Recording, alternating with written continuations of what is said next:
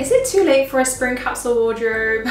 Possibly. So maybe think of this as a late spring wardrobe with hints of summer. But I'm listening to your amazing suggestions that you left for me on my Q&A video. And a lot of those suggestions were more capsule wardrobe videos. And so here we are. I will film a summer capsule wardrobe in the next couple months. And then next week, I'm going to put together a holiday capsule wardrobe because I'm going to Italy next week. So lots of capsules coming your way. I felt quite comfortable doing a spring capsule wardrobe quite late in the season because I feel like with the transitional months and spring especially, the weather fluctuates so much that you actually end up wearing a lot of the kind of core pieces that make up your wardrobe. So I do think that this video will still be quite useful. The way I view a capsule wardrobe is that they are the kind of foundational pieces that make up your wardrobe. A capsule wardrobe is not the be all and end all, and that's also why I kind of didn't want to put a number on the amount of items that I have in this capsule as well. I think it is about 25 to 30 pieces, but I haven't counted the exact number number because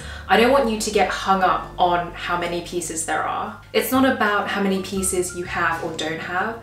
A capsule wardrobe is so personal that as long as the piece that you have in your capsule follows the principle of A, you loving it, and B, being able to be styled with a majority of the other pieces in the capsule, then really that's all that matters. I mean, I definitely wear a lot more pieces than just this in my own wardrobe, but these are the pieces that I've picked out just to be a really good starting point. So starting with trousers and white jeans are my go-to, especially in the springtime. I just think they make any outfit look spring-like. Just adding in any white or cream shades. I think if you don't want to wear white because that can be quite scary. I completely understand why. Even just adding in like cream or ecru kind of shades of jeans would work really well. These ones are from Arket. I got these last year and they always have these ones on the website. I love these. They're like the perfect sort of really straight cut and because these are the cropped version, I didn't have to hem them, which as a five foot two girl is amazing. so next I have a pair of blue jeans, which let's be honest, they are an all year round wardrobe staple.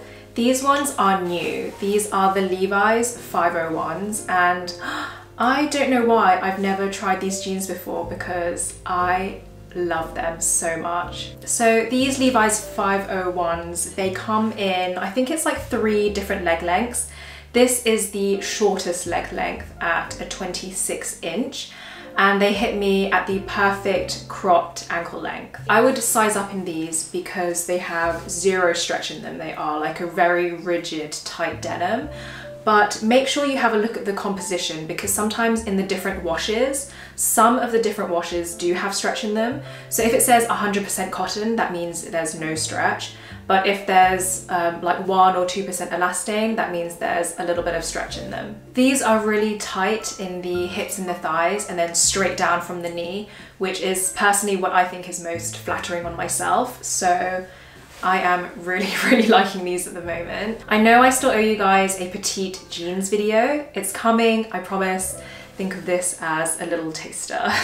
Next for trousers, I have cream and black kind of relaxed um, tailored trousers. These cream ones are from Pixie Market. These are the Jamie trousers, I believe they're called. They come in quite a few different colors.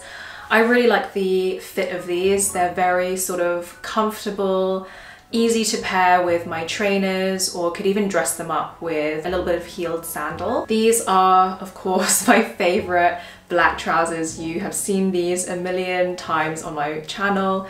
They are from And Other Stories. They are the relaxed crease relaxed press crease trousers. And again, these are both wardrobe staples that I would wear pretty much all year round. Maybe not so much this color, but 100% the black ones I wear all year round. They just work with everything, all of my jumpers, my jackets, t-shirts, tank tops. They just work with everything. so onto skirts and dresses now. I don't have too many that I would consider as part of my personal capsule wardrobe just because I'm definitely more of a trousers and jeans type of person. But if skirts and dresses are your thing, then you have to make sure you have these pieces. And for me, they are these silk pieces. So firstly, I have a black slip silk skirt and then I have the same cut but as a dress. They're from the same brand, they're from Silk Laundry, which in my opinion makes the best kind of silk pieces. The way they cut their pieces is so flattering. It just kind of skims you in all the right places and they just fit so well in my opinion. If you don't own this type of piece, then I would definitely start with the black. I owned this skirt for about two or three years until I invested in the cream, cream color, do you call it cream? Maybe more like um, champagne type color. I just knew that I loved the black one so much that I wanted to add another neutral color that I knew I would get a lot of wear out of. And so yeah, I wear these a lot during spring, summer. And then the same goes for the dress. I think if you're looking for a slip dress, definitely go for black first and then you can kind of branch out into other colors. But I love this dress so much. I wear it kind of dressed down with a denim jacket and sandals or you can easily dress it up. I mean, I've worn this to evening events before. It's just so simple. You can kind of wear very simple jewelry and be very understated. Or because this dress is so kind of simple, you can also wear bigger, louder jewelry and dress it up that way. There's just so many options with this kind of dress. So these I love.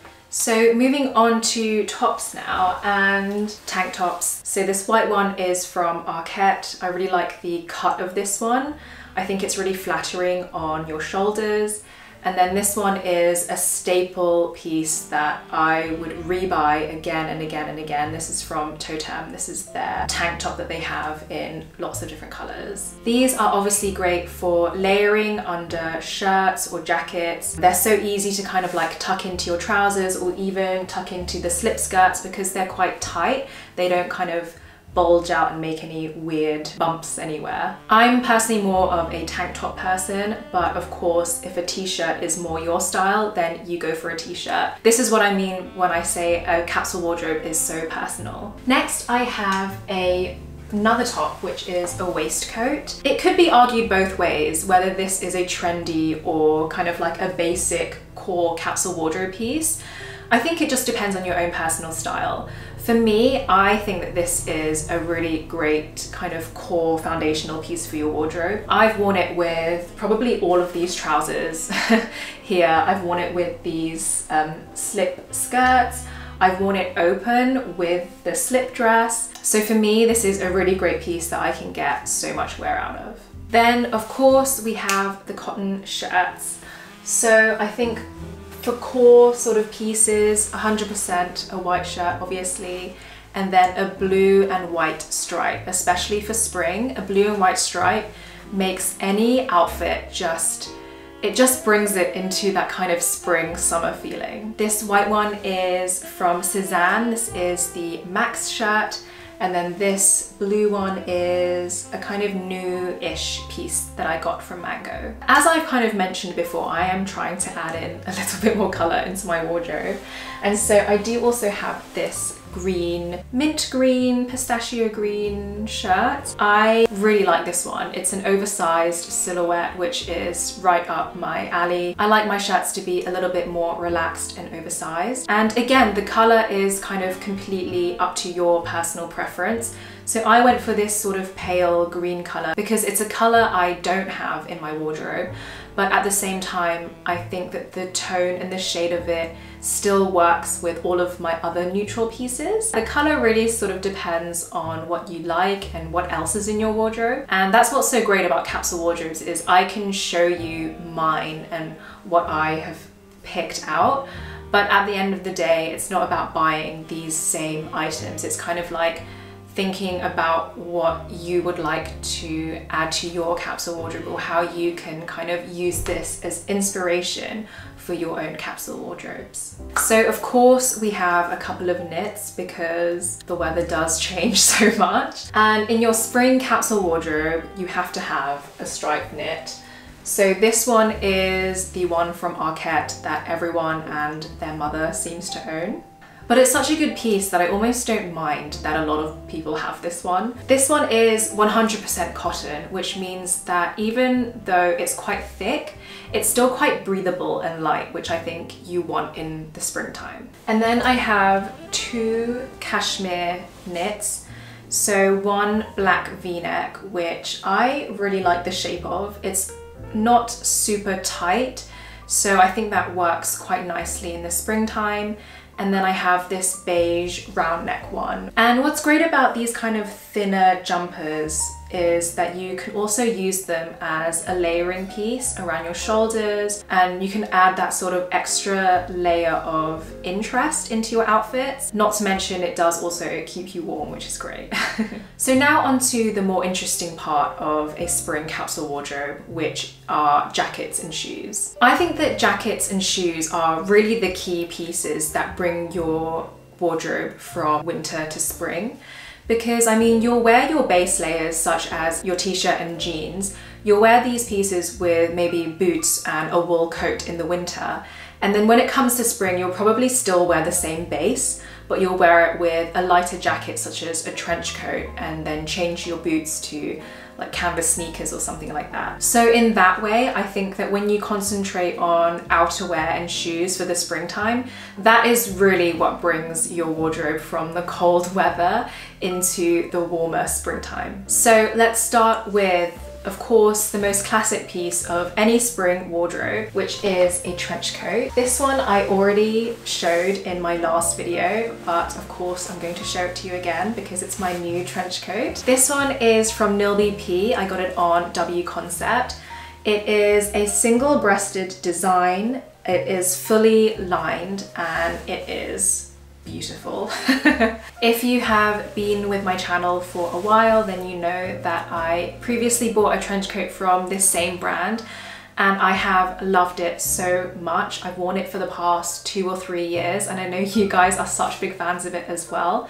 So I loved it so much that I decided to go with the same brand again to update my trench coat. This one is just a much more minimal design. There's nothing kind of going on on the shoulders or the front. It just has the buttons going down, which I just really am leaning into that kind of minimal look this year.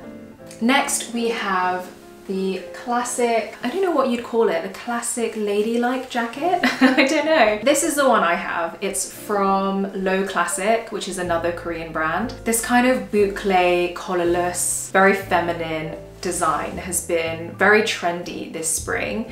However, I do think it is a piece that's forever classic. I really wanted to go for this particular one because I really liked that the shoulders were really strong and it is quite cropped, which works for my petite body. But there are so many on the high street at the moment because it is a really trendy piece that I will link to a couple of others as well. So moving on to the kind of more casual end of the spectrum, we have a denim jacket. Again, this is just another kind of core staple piece of any spring summer wardrobe. I've had this one for a few years now and I still really love it. I think if you buy the right shape for you personally, then this isn't a piece that you need to keep updating year after year. You kind of have the one that you love and then you can wear it for a very, very long time, hopefully. Mine is in this kind of very relaxed, boxy fit, which I think works for how I like to wear my denim jackets. I don't like them to be too fitted. And again, it's also a little bit cropped, so I think that helps to kind of make me look taller um, and yeah, just works with a lot of pieces in my wardrobe. For me, I really like this light blue shade that I've picked it out in. But again, I think if you prefer a black denim jacket, then that works really well too. Or even, I think gray would work really well. Just anything in those sort of neutral colors. This is just such a staple piece. So moving on to leather jackets now. And I think a leather jacket is also uh, another item that has been really trendy this spring. Specifically a kind of oversized biker style jacket. And whilst I think that style looks really great on other people, it's not something I think works for me. I think it's a bit too Um, I don't want to use the word edgy, but that's kind of the word that is coming into my brain. I just prefer something a bit more minimal. Um, something that doesn't have too many buckles or zips going on. So the leather jacket that I've gone for is this brown one in this vintage design. So you can see that it's a lot more minimal than those sort of biker jackets that are really trendy at the moment. It just has um, a single zip going up the front and then the back has a little bit of detailing, but not too much. Again, that's how you can kind of adapt one trend but make it for yourself. Okay, and then so lastly for jackets, we have of course a blazer. So if you have seen my channel before, watched any of my videos, you know that I adore blazers. For me, they just make me feel so much more put together. I feel very polished when I have them on and it's just such a great piece to wear with jeans because I wear a lot of jeans. Yeah, they just they just go with everything. So this one is a linen and cotton blazer. It is just very light and easy to wear. It's lined in the top half, so this bit. So it's just very fluid, it moves really well. Another way to think of your wardrobe is to think of pieces that you love. For example, I love blazers, but buying them in colors or fabrics that match the correct season means that I can kind of make sure that my personal style still shines through each season. I hope that makes sense. so moving on to shoes now and I have two pairs. Firstly, ballet flats. I've been wearing these so much this spring. I think they just look very chic with jeans. Like I said, I wear a lot of jeans. They just make everything look more sort of feminine and ladylike, I suppose. These ones are Arket, and I've said this before, but I'll mention it again. I specifically like these ones because the vamp on the shoe is quite high. So I personally think they look sort of more modern and contemporary compared to a sort of more classic ballet flat. And then we have loafers. So these I actually bought on sale during the winter time and it hasn't been until the past couple weeks that I've been able to finally wear them. I went for this colour because I don't have a pair of loafers in this kind of grey shade and I think this kind of lighter colour makes a nice change from my black loafers. But if you are delving into the world of loafers and you haven't before, definitely get a black pair as your first pair. I just kind of wanted a bit of a change and like I said, I like to kind of add those lighter and brighter colours once spring hits. Um, and so these have been a really great pair for me. Next for more casual shoes, I love Converses. I think these are such a great classic shoe to wear. I live in my black ones throughout kind of autumn, winter, and then once spring rolls around, I always get these ones back out. I love the way they look under jeans and trousers, and I just think you can't go wrong with a pair of Converses. And then lastly, when the weather really warms up, we can start getting out our summer sandals. So these are my Dear Frances tie slides. I do have a whole video review on Dear Frances if you want to watch it, but basically in a nutshell, I absolutely love these sandals so much. I've had these for two, three years. They are so comfortable, the quality is amazing, and they also look really chic, which is, I think, the most amazing part because it's very rare that you'll find a pair of sandals which are both comfortable and also chic. I think another pair of sandals that I find really comfortable are my Birkenstocks, but for me they're not the chicest looking sandals, but these are comfier than Birkenstocks and they look better, I guess. so onto bags now. Of course, a basket bag is a spring summer staple. This one is the Loewe basket bag in a small. Again, I've had this one for two or three years and I just break it out every spring season. And for me, the small size is perfect. I think anything bigger is just too big for my frame. Someone asked me if this bag is still worth it today. I don't know if they meant in terms of price or in terms of if it's done, you know, is it overdone now? Me personally, I think, I don't think it's overdone. I think it's still a very, very chic bag. But in terms of the price, the price has gone up over the years, which of course. of course, once an item becomes popular, they just love to raise the prices. In that respect, I think that you're better off looking secondhand because there are quite a few on websites such as Vestiaire Collective that are in really good condition. So you can get one that is cheaper than the current retail price. So I really like canvas bags during the spring summer season and I just recently got this one. So it's kind of like a bucket bag in this canvas material with this brown leather trim.